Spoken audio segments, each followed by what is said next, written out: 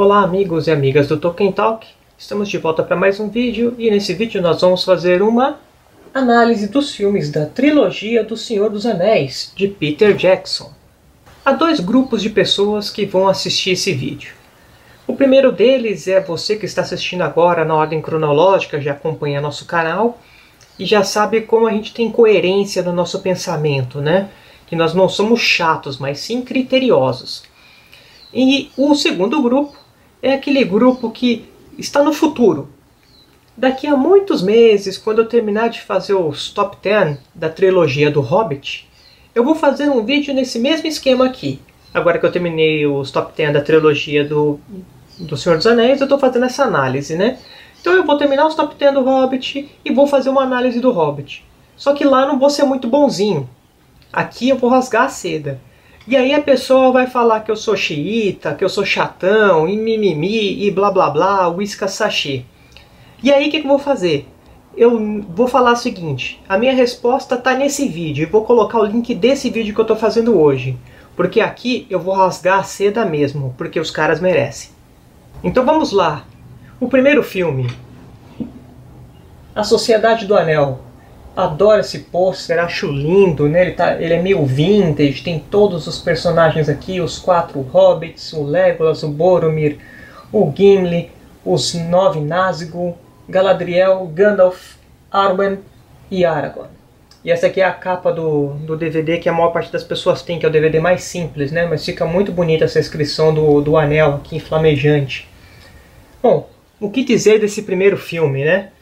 O primeiro filme tem um começo lindo. Galadriel sussurrando em élfico, aí vem aquela narração junto em inglês, aquele texto lindo, super bem escrito, aquela música entrando junto, você vai entrando no clima. Eu lembro quando eu fui no cinema, nossa, aquele, aquele comecinho, né? Eu fui entrando no clima, parecia que eu estava entrando na Terra-média da, da Batalha da Última Aliança. Aí vinha aquele resumão com o Sauron dando aquelas porradas para tudo quanto era lado, o, os pedaços da Narsil cortando o dedo do Sauron, enfim, aquele resumão, aquele começo, tudo perfeito. E quando você já está naquela tensão, super tenso mesmo, o que acontece? Nós vamos para o condado. Ah, o condado. Eu sinto falta do condado, porque eu, eu nasci lá, né? Eu não sei muito bem como eu vim parar em São Paulo. Eu sei que eu nasci lá. E aí entra esse letreiro lindo, né? The Fellowship of the Ring. Aqui está o Frodo lendo um livrinho com o pé descalço. É, vou falar o que desse enquadramento? Eu lembro direta, direitinho. Você vinha com aquela tensão da batalha e aí vem nisso, Gandalf chegando na carrocinha. É, o Peter Jackson, para mim, conseguiu traduzir perfeitamente como é o condado. Né? Verde, bonito, é lindo. Depois disso nós temos a jornada dos hobbits, né? A gente entende como eles são bonachões e tudo mais, mesmo na, na festa do Bilbo, que é uma festa linda, cheia de fogos, tem aquela menção do Smaug, né? O, o Peter Jackson fez muitos easter eggs, né? Easter egg é aquela expressão em inglês para quando você faz tipo é, uma menção de alguma coisa, ou é alguma coisa meio que escondida na tela, você tem que saber degustar. Então aquele grande dragão de fogos que o Gandalf faz é claramente uma menção ao Smaug, né? um dos easter eggs. O próprio Peter Jackson aparece em Bri, né? na cidade de Bri. É, nós temos um outro easter egg também quando aparece a Arwen, mas eu vou falar disso a troca do, do Glorfindel pela Arwen não pesou como uma acharia que ia pesar. Por quê? Porque você conseguiu traduzir na Arwen diversas coisas que você tinha no Legendário, diversas mulheres importantes foram traduzidas em Arwen. E aí quando você tem aquela imagem dela conversando com Aragorn, ao fundo da tela você tem o que? Os Trolls do Bilbo. Quem já tinha lido o Hobbit ou já tinha lido o próprio Senhor dos Anéis, lembra que os Trolls estavam naquele, naquele miolo. Você tem mais um easter egg. Então, quer dizer, é um filme cheio de pormenores, cheio de bom gosto, né? Para saber mais sobre a inserção da Arwen é, no filme, você pode assistir o Top 10 da Sociedade do Anel, lá eu falo bastante dela. E depois disso a gente chega em Valfenda, vê toda a beleza élfica. Na sequência a gente vai para Moria, contrastando com a beleza dos anões. Também tem uma beleza, né? Uma beleza diferente, mais de linhas retas. Você vê a grandeza que eles eram né, nos tempos de outrora. Depois a gente tem um vislumbre de como seria o grande poder dos espíritos de Morgoth e Sauron, né, com, a chegada do Balrog. Aquela cena épica da, da queda do Gandalf a saída deles de Moria.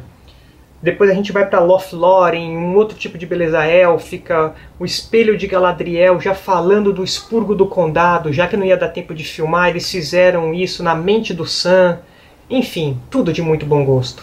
E aí no finalzinho do filme a gente vê os Argonath e imagina o quão grande deveria ter sido os reinos dos homens de Númenor, né, de Elendil Isildur, e a sequência dos reis de Gondor, até a divisão da Sociedade do Anel com aquele gostinho de quero mais. Você sai do cinema querendo que o humano passe o mais rápido possível. Vou falar o que desse filme? É o meu predileto. E aí temos o segundo filme, As Duas Torres. Mesmo esquema, aquele pôster bonito pra caramba, com vários rostos. A gente já tem a inserção da Elwin, chega o Gollum, Saruman. E aí a gente tem aqui The Journey The Journey Continues, ou seja, estamos continuando a jornada. Eu acho fantástico as duas torres porque, na minha opinião, ele é o filme mais difícil de ter sido feito, porque ele não tem começo nem fim, ele é um grande miolo com duas histórias que vão cada um para um lado, né? Diferente da Sociedade do Anel, que você tem todo mundo indo para um lado só. E o Peter Jackson, na minha opinião, fez um trabalho fantástico. Eu achava que as duas torres tinham mais diferenças do livro do que os, do que os outros mas na verdade é o retorno do rei. Ele começa de uma forma maestral, né?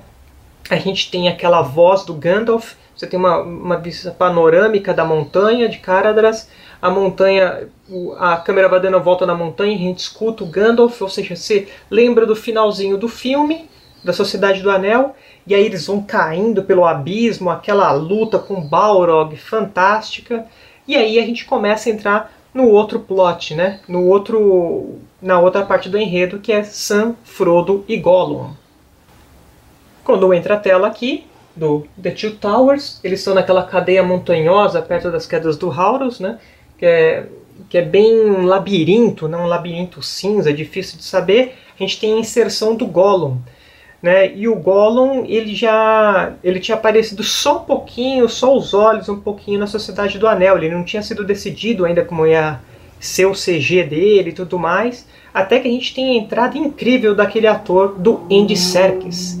O Andy Serkis sofreu até um pouco de preconceito, né? Um, o pessoal não gostava muito dele na produção, até mesmo os atores, porque não entendia, né? O jeito como ele estava vestido, se você não assistiu os extras, eu recomendo. Os extras mostram bem como que o Andy Serkis teve que construir o, o seu trabalho e mostrar dia a dia o seu valor.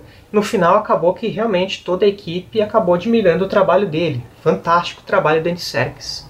Depois nós temos na sequência o outro plot, que é o plot dos três caminhantes, né? O Legolas, o Gimli e o Aragorn correndo através dos campos de Rohan, através dos, atrás dos Uruk-hai, que tinham pego os hobbits, e lá nós conhecemos Eomer, Elwin, Felden, conseguimos visualizar como seria Rohan de verdade, né? É, Medusel, o palácio em Edoras, vemos mais de Isengard, de Saruman, de como o Palantir mexeu na cabeça dele, fomos para Fangorn, conhecemos os Entes, Barbárvore, depois voltamos para outro plot e conhecemos os pântanos mortos, é, as reminiscências de batalhas que geraram aquele pântano, Faramir, os Gileath, Gondor e até o caminho secreto para Mordor, né?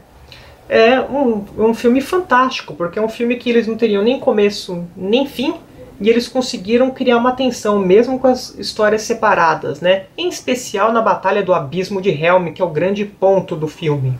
É um filme fantástico, do mesmo nível do, da Sociedade do Anel. E aí, encerrando, nós temos O Retorno do Rei. E aqui embaixo, The Journey Ends. Mesmo esquema dos, dos posters, né? A gente tem Barad-dûr aqui atrás, a, a, a Torre do Sauron, Gandalf já como Gandalf branco, o Aragorn é a grande estrela junto com o Frodo, né? O Sam realmente se mostra sendo o herói que a gente viu na carta é, que o, o Sérgio fez uma descrição clara da carta, do restinho da carta que fala que o Sam é o grande herói. Se você não, não viu esse, esse vídeo, tá aqui embaixo o link para você conferir que realmente o grande herói do Senhor dos Anéis, segundo o próprio Tolkien, é o Sam. Mas essa carta inteira você não encontra nas cartas de J.R.R. Tolkien. Tem, tem, tem uns esqueminhas aí, estão em outras publicações, mas a gente fez um vídeo só sobre isso. O Sérgio caprichou nele, vai lá e confere. E aí, quando sobe o letreiro aqui do Retorno do Rei, já começa a bater aquela tristeza, porque você sabe que estamos chegando ao final, né? E nós temos a grande batalha dos campos de Pelennor, que na minha opinião é a maior cena de batalha da história do cinema. Tem muita coisa bonita, muitas cenas boas por aí, mas para mim essa a batalha dos campos de Pelennor é, é irretocável, eu acho demais. Mesmo com a entrada dos, do exército dos, dos mortos lá da Senda dos Mortos, né, eu ainda acho uma, a maior batalha da história. A gente tem o um embate da Sam com a Laracna, que realmente é bem parecido com o livro, ficou bem intenso, ficou ótimo.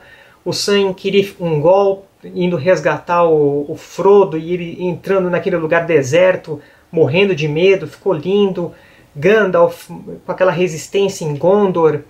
Tem aquela cena que que o Gandalf fala para o Pippin, né, das, que não é um final, né, que existem praias brancas, se remetendo a Valinor, ao Silmarillion. E aí a gente também faz uma, um outro lance que o Peter Jackson e a equipe dele fizeram. Coisas que eles não poderiam ter colocado no filme porque não ia dar certo, não ia dar muito tempo, eles colocaram de outras formas, aqueles easter eggs que eu falei. Eu considero isso quase um easter egg, por quê? Porque a gente viu no top 10 do Retorno do Rei que o Pippin mata um troll e aí depois disso ele tá tão cansado, ele tá tão machucado que ele desmaia quando ele escuta que as águias estão chegando. E aí Tolkien fala que ele teve um desprendimento, ele ficou livre da dúvida, da dor, da escuridão. E é isso que o Gandalf, na, através das palavras dele, faz pro Pippin. O Pippin tá nervoso lá em Gondor e o Gandalf fala para ele: "Não se preocupe, existe algo além disso" eu acho muito bonito e de, de muito bom gosto, de muito tato, muita sensibilidade da equipe do roteiro. Como dito, nós temos águia, as águias, né, que remetem ao Hobbit, que ficou muito bacana. Temos a coroação do Aragorn, que ficou fantástica, e aquela cena que eles ajoelham na, perante os Hobbits, que é lindo, né, aquele ajuste do, do campo de Cormalin, que não ia dar tempo de fazer. O retorno da casa, mesmo sem o expurgo do condado, ficou muito bom, porque um, é um retorno mais leve. E aí a gente tem a finalização nos portos cinzentos. Então encerra com chave de ouro, com aquela orquestração linda do Into the West. Então vou falar o que? Mesmo nível, três grandes filmes. Então para arrematar a panorâmica, quais são os grandes as grandes sacadas do Senhor dos Anéis? Na minha opinião, a grande sacada dele é o Gollum, que era difícil você fazer um ser ser convincente, realmente ele parece convincente, é, na, nas, nas, duas personalidades, nas vozes, nos trejeitos e nas formas como Andy Serkis trabalhou ele, fantástico, é um grande ator, as roupas, que são lindas, temáticas, trabalhadas, cada povo, cada povo com seu estilo, as localidades da Nova Zelândia casaram perfeitamente, é, tiveram trabalho de procurar ponto a ponto e achar os lugares. Quem vê os extras do DVD sabe muito bem disso. As batalhas são incríveis. O, a vontade da equipe de fazer isso dar certo, os hobbits que tinham aquele monte de maquiagem, o próprio Gimli que tinha alergia a aquela, aquela máscara que ele usava, a trilha sonora fantástica do Howard Shore. Então é tudo muito bom, mesmo com as mudanças em relação aos livros. Tolkien dificilmente gostaria de qualquer filme, mesmo desses. Porque, querendo ou não, ele criou tudo, ele que imaginou esse mundo. É compreensível. Agora, eu como fã, como leitor, eu amo esses filmes, porque eles, eles materializaram para mim a Terra-média. Né? É, eu misturo a minha imaginação com algumas coisas que eu vi em pinturas, em desenhos, com esses filmes. Então, para mim, é fantástico. Gosto muito do Elijah Wood, apesar do Frodo ser um pouco mais intelectual, mais, mais inteligente, mais nobre no livro, mas o Elijah Wood realmente fez um ótimo trabalho. Então, para você que acha que nós aqui do Tolkien Talk podemos ser muito chato com a trilogia do Hobbit no futuro, entenda, nós vamos usar os mesmos critérios que nós usamos aqui. E essa trilogia é fantástica. Peter Jackson e sua equipe merecem cada Oscar que ganharam. Aliás, mereciam até mais. Pessoal, quero a opinião de vocês, se vocês concordam ou discordam. Quero agradecer também a todos que têm feito esse canal crescer, ele fomentar a leitura, fomentar o debate. Nós estamos muito felizes com a resposta de vocês. Nós agradecemos de verdade. Peço que continuem compartilhando, curtindo e comentando. Um grande abraço para vocês e na Marie.